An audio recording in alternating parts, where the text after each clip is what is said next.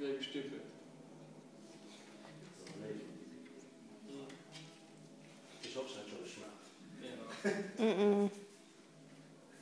Einfach schon mal der Part geben. Mhm.